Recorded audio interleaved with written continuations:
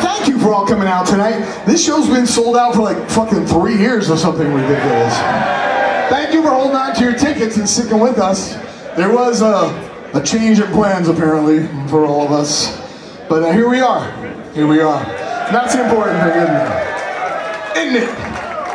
Anyhow, we're gonna play uh, we're gonna play a bunch of new songs tonight because we have a bunch of new songs and it's nice to have new songs. So what the fuck?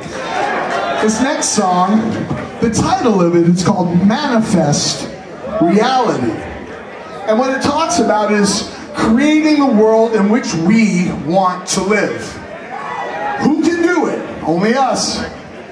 If we want more peace in the world, we have to be peace. If we want more love in the world, we have to be love. More kindness, more compassion. It has to be us. We can't change anybody else. We can barely fucking control ourselves. So if we really want the world which we live in, it's going to be up to us. No one's coming to save us. Be the change you want to see. Manifest reality.